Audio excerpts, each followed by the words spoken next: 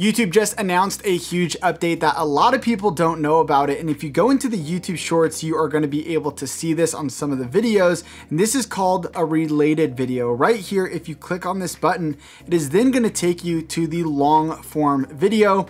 You can see how powerful this can be for getting shorts viewers over to your long form content. I'm gonna show you exactly how to do this, but first you need to know that if you've been putting links in your descriptions or your comments on your YouTube shorts, that now does not work at all anymore, so you really need to make sure to do it this new way. To use this new feature, you have to do it on the desktop version of YouTube. So here we are in the YouTube studio. We're gonna go over to content and you wanna find a YouTube short. This can be one that you've already posted or one that you've uploaded to the studio, but it's still private or unlisted, it's gonna work there too. So we're gonna go to the details and from here, we're gonna scroll down to the far right-hand side and we are going to see related video. And this is where we can send traffic from this short to whatever video we want. It doesn't have to be from the specific video we pulled this from. It can be to any of our long form videos. So I click on this once and then I'm going to search my videos to find the correct video to link to. Once you select the video, just make sure you go up to the top right hand corner, you hit save,